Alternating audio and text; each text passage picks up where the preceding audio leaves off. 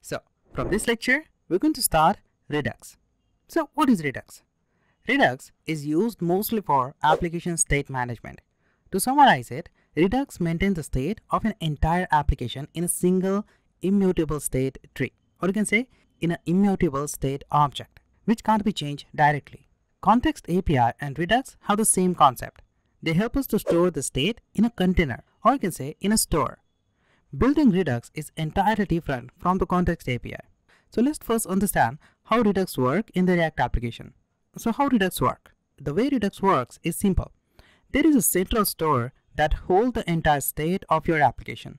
Each component can access the store state without having to send down props from one component to another. There are main three building parts of the Redux. Action, store and reducer.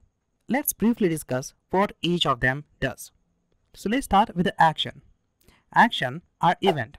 They are the only way you can send the data from your application to the Redux store. In Redux, you send the data to the store using an action event.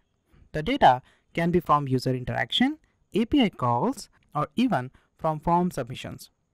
Action are sent using the store dispatch method. Action must also have a payload that contains the information that should be worked on by the action. Actions are created via an action creator. For example, to create an action, you just simply create a simple JavaScript object. And inside that object, you have a type of action and a payload. You first specify which type of action you are creating. You can notice here, we are creating a type of create action. And in the payload, we pass the data we want to send to the store. We specify the type, object, and then pass the payload.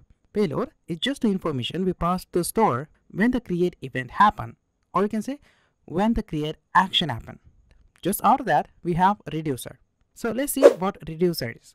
Reducer are pure functions that take a current state of an application, performs an action, and return a new state.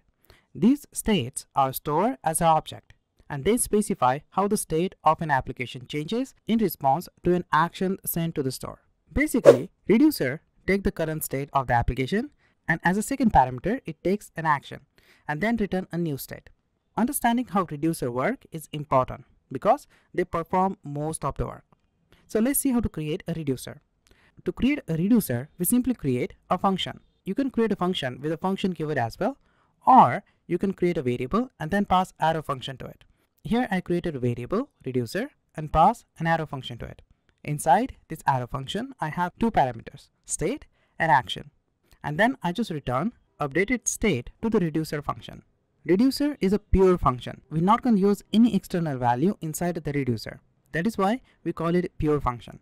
When the action is triggered, we call the reducer of that action and return the initial or the updated state depending on the condition we have in the reducer.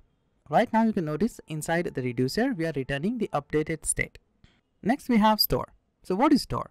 Store holds the application state. Inside the store, Redux will store all your state data. It is highly recommended to keep only one store in any Redux application. In the store, you can access the state stored, update the state, and register or unregister the listener via the helper method. Let's see how to create a store. To create a store, you can just simply create a variable, store, and then call a function create store. We get this function from the Redux library. So before we add this function, we need to import the Redux library inside the file and import this create store function from it.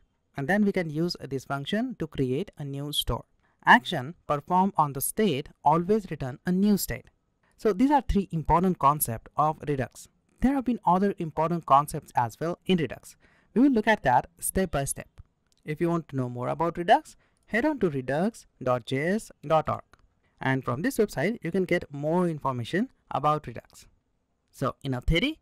Next, we are going to take a look at how to create a store, reducer, and action in Redux.